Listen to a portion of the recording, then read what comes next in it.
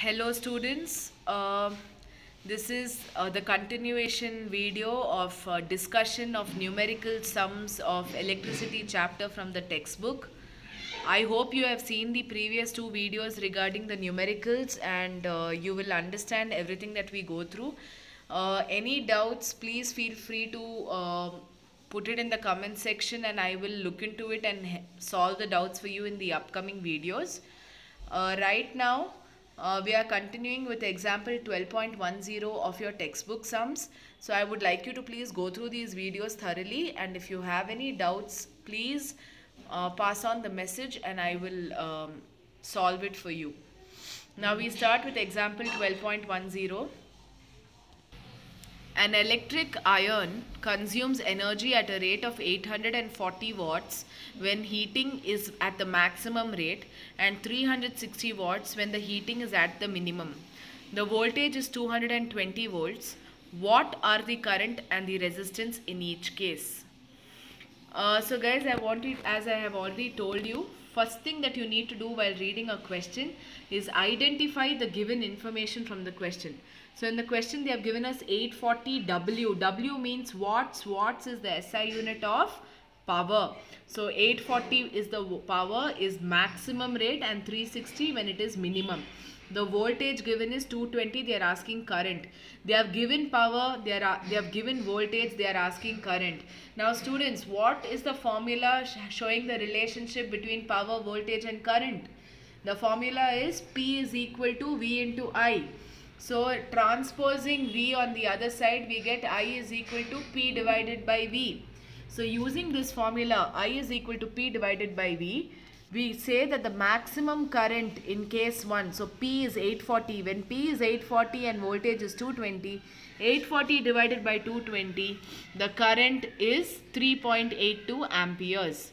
Okay, and then they are asking what are the current and the resistance in each case now we have got the current is 3.82 ampere we know the voltage is 220 so using v by i ohm's law using v by i is equal to r we will now find out the resistance so resistance is equal to v by i 220 divided by 3.82 is equal to 57.60 ohms so this will be the resistance when the heating is at the maximum rate at a power of 840 watts. Now moving to case 2. Case 2 is the heating is minimum at 360 watts. So power is 360, voltage is 220. 360 power divided by voltage is equal to current 360 divided by 220 is equal to I. We are getting 1.64 ampere. Then using this 1.64 ampere I and using voltage 220 V by I is equal to R.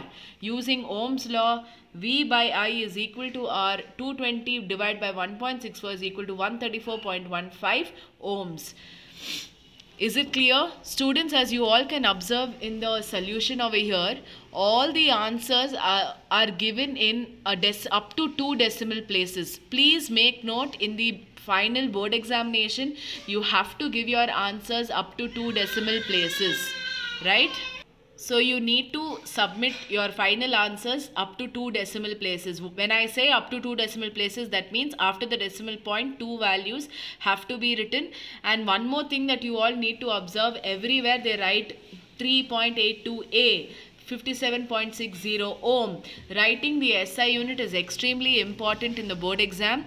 They will cut half mark if you do not write the units. So please make it a habit right from the starting of your 10th standard to give your final answers up to two decimal places with the SI units.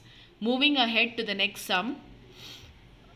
Example 12.11 100 joules of heat are produced each second in a 4 ohm resistor in a resistance in a 4 ohm resistance. Find the potential difference across the resistor.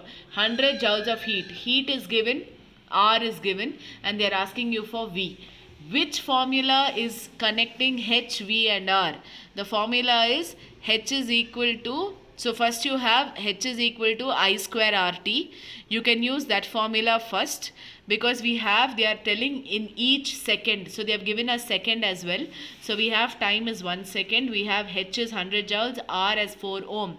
So using the formula h is equal to i square rt we will find out i So I is equal to root over h by RT. Root over 100 by 4 into 1. We get 5 amperes. Then this 5 amperes, we have 5 I. I is 5 and then we have resistance 4. Using V is equal to IR Ohm's law, we will multiply 5 into 4 and get voltage which is 20. They are asking us for potential difference which is nothing but voltage given as 20. Moving on to the next one.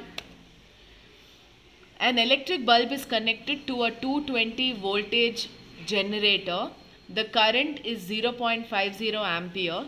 What is the power of the bulb? They are asking you power. They have given you V. They have given you I. Very simple question. P is equal to V into I. Multiply 220 into 0.50 answer is given to you. You can write your answers in joules per second or watts. 1 watt is equal to 1 joule per second.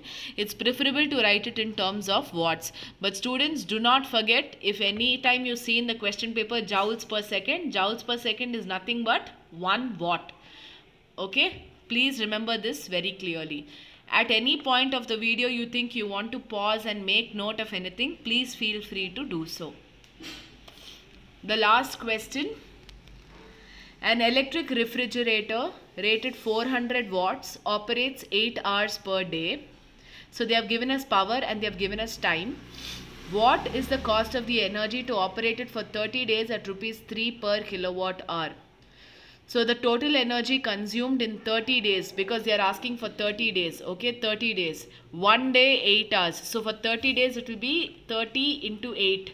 So 400 watts for 8 hours for 30 days. 400 into 8 into 30 is 96,000 watt hour. 1000 watts is 1 kilowatt. So we are going to divide 96,000 divided by 1000 we get 96 kilowatt.